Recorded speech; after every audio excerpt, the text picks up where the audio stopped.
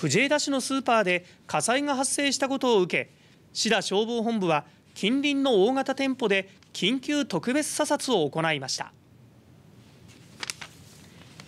この緊急特別査察は今月15日藤枝市水森で営業終了後の大型スーパーで火災が発生したことから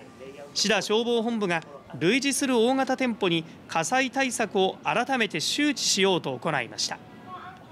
消防隊員はバーベキューなどで使うボンベや花火など夏場に取り扱いが増える商品の陳列状況を確認しました。また梅雨時の湿気が原因で火災が発生するトラッキング現象を防ぐためコンセント周りにホコリや水分がついていないかしっかり差し込まれているかなどを確認しました。市田消防本部では今後藤枝市と焼津市にある大型の販売店64施設にも注意喚起をしていくとしています。